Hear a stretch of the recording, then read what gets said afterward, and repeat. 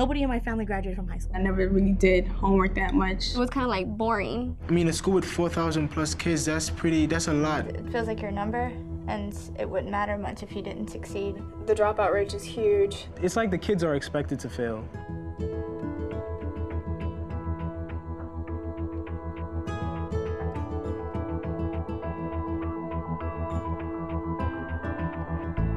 It's about giving young adults the opportunity to, to get ahead in life. I definitely like that I could take college classes. We had a lot of great teachers. You have to be willing to work hard. It's kind of like changed my life. You can never say that it's too late and you should never write off any student. And that's what I think the Early College Initiative is all about. I am sure I'm going to make it to college.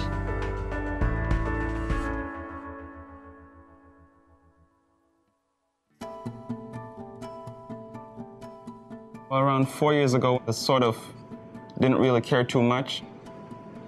I wanted to fix cars and drive cars, so I started to apply to automotive high school. But my guidance counselor said that I think you should go to this new school.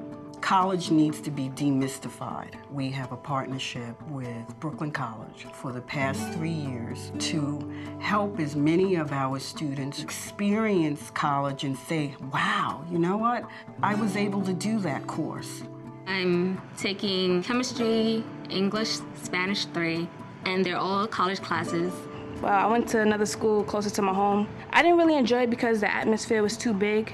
I just needed attention from my teachers. With the one-on-one time that you get with the teachers, you have time to talk about what you think you might want to do, what you're better in. You know, you get to actually know your professors and they know you on a personal level. Like, once you do that, you can't go wrong because not only do you have a teacher, but you also have a friend.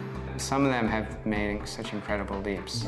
And it makes me very proud to have them come back from their college courses when they're here and to see them acting and behaving like college students. They're already looking at grad school. And we've developed a really good relationship with Brooklyn College where the faculty here at STAR and faculty members at Brooklyn College work together. It's a totally new environment for us, but we're adapting and changing and learning and growing. It's really challenging, but I mean, if you want to do something bad enough, then, you know, that kind of thing doesn't stand in your way. My mom didn't go to college. She's proud of me because I'm the only one in the family that has actually reached high school and not dropped out. In the end, it really does pay off when, you know what, I'm the first in my family to go to college, and it's a pretty good school that I'm going to. Without reach, I'd be in an average high school struggling to figure out what I'm going to do for college. I applied to Dartmouth and I was accepted. I was also accepted to Cornell University, Johns Hopkins University, Denison University. I'm really glad I came here because I honestly feel that if I didn't come here, I wouldn't have been accepted to UCLA. I truly feel like I'm going to make some type of difference in someone's life